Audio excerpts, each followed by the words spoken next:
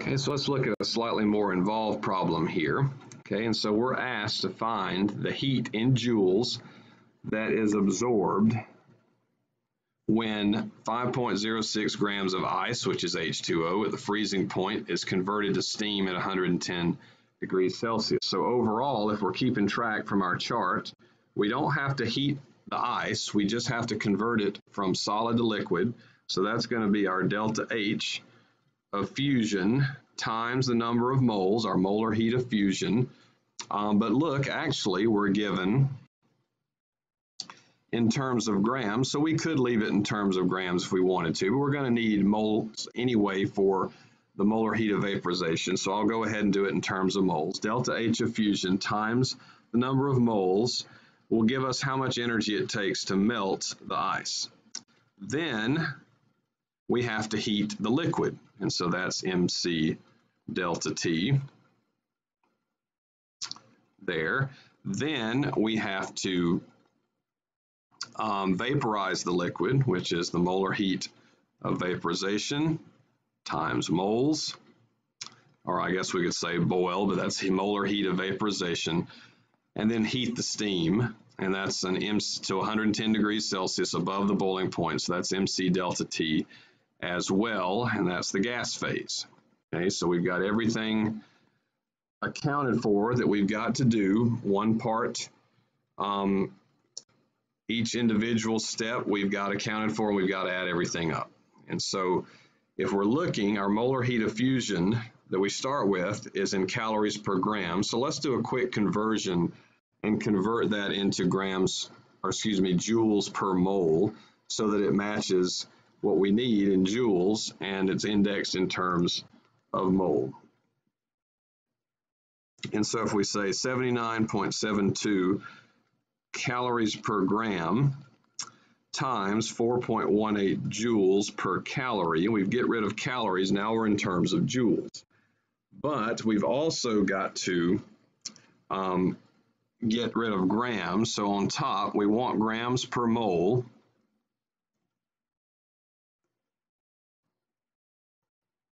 and grams per mole is the molar mass. So we have 18.02 grams of water per one mole. We multiply all that together. And what we're going to get is 6,005 joules per mole. And then we have to multiply by moles. So how many moles do we have? Well, in our given, it said that we had 5.06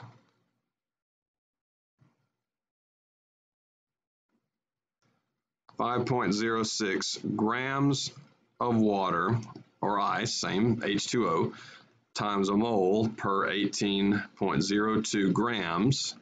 That's going to give us 0.2808 moles. And so we take that down here, 0.2802 moles. And now this term is in joules and we're in good shape.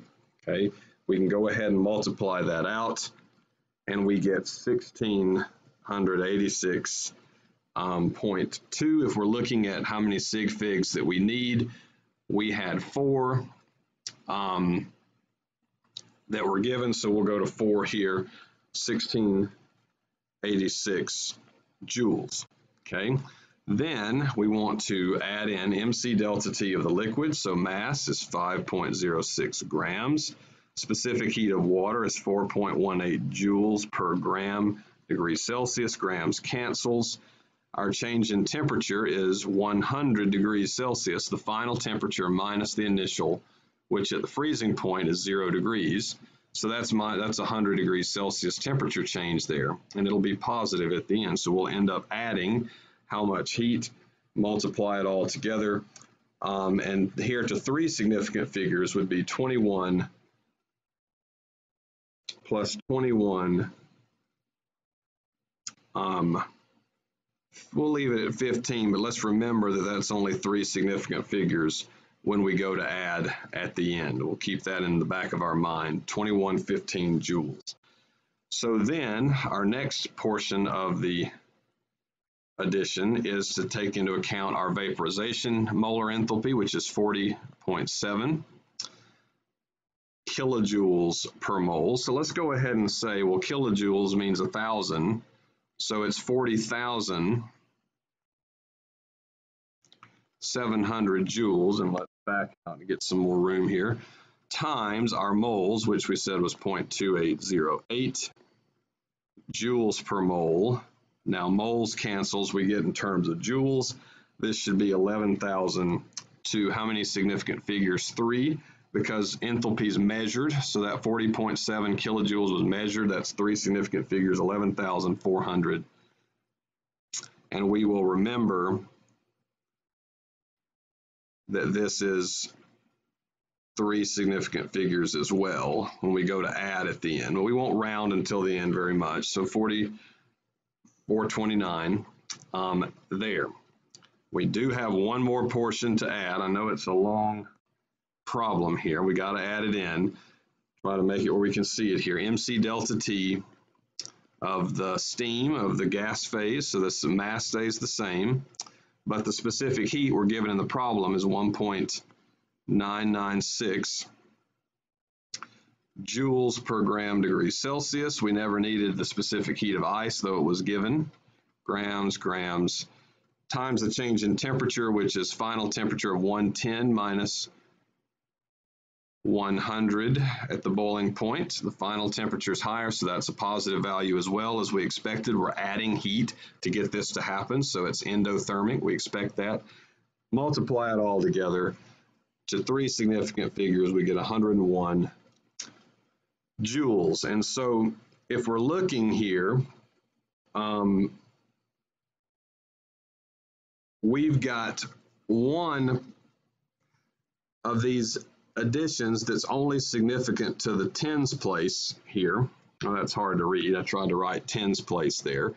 So our addition, when we do addition of significant figures at the end, all the others are accurate um, to the, well, except this is also only accurate to the tens place.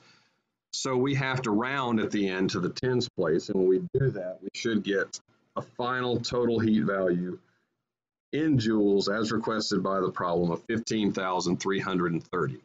Okay, because the ones place on two of our um, calculations is insignificant, so we round off to the tens place.